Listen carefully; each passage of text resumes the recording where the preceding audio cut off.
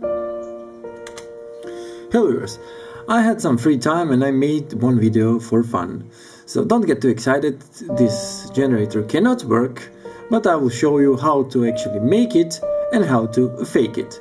It's interesting to do some this kind of projects just for killing the time and um, but yeah I will explain later how this can work and how this must work with the magnets and the wires. So how you can actually produce current and this is a fake video because you cannot get uh, with, without movement of magnet through the coil you cannot get a current. Yeah this is this is clear as the wind.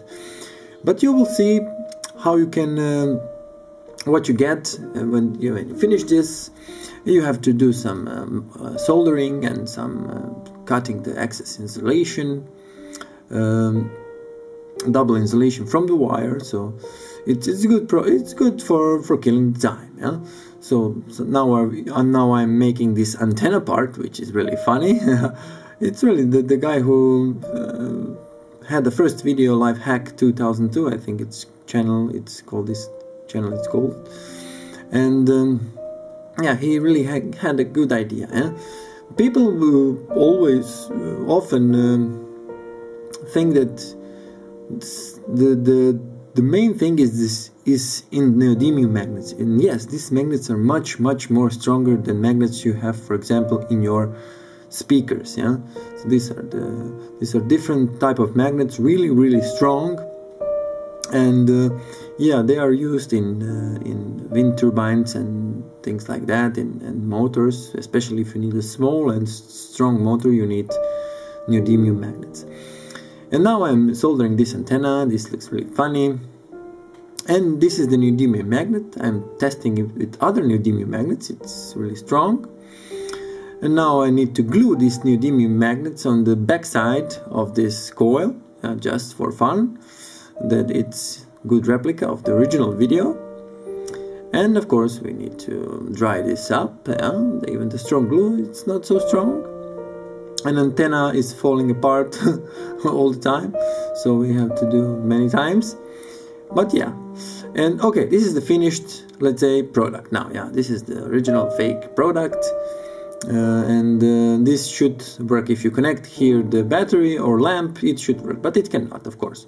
But now I decided that I will take take out this back magnet and use these round magnets and now I'll demonstrate how to produce current with such a coil yeah? it's really simple I'm going to weld the solder the uh, the wires on the winding on these windings on this coil and now we are going to move these neodymium magnets inside and we will see if something happens on the amp, milliamp, milliampere meter. Yeah, this is the milliampere meter. And now we're going to move the magnets inside of this coil and of course you can see on the image we are producing electrical current. It's a small current, only few milliamps, but it's it's working. So and this is how the only way it can work, yeah? if you have a magnet motor it would it would produce the same we need to have a moving moving moving magnet through the coil to the copper coil and we are producing the current yeah so this is really really simple and, and fun and this is the how how they how this should work yeah so you can see it on the amperemeters the it, it produces really really small it's even changed in polarity but you can see this really well. Now I am going to take the digital amp amperemeter. Yeah, if we take the neodymium magnet, yeah, it should also work, but the, we don't have enough uh, from hard drive. We don't have enough magnet flux, yeah, and this this also works, but it's some microamperes, so it doesn't show on this milliamp meter that something is happening in these wires. But if we take a digital amperemeter or voltmeter, you will see this is all connected, yeah, these two wires, this coil on, on our amp amperemeter. And we are, when we are moving, we can see that, yeah, it also, the current is produced.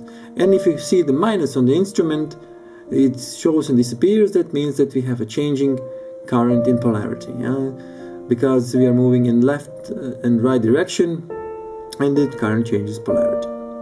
So this is basically it. This is our generator. And on the end, I'm going to show you. So this is the fake, uh, fake product, yeah.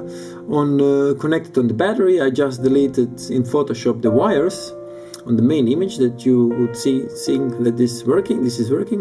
One side is actually uh, this side is connected with the glue, another side is soldered, yeah, and it cannot. So it would be a short circuit if it if it's not like that.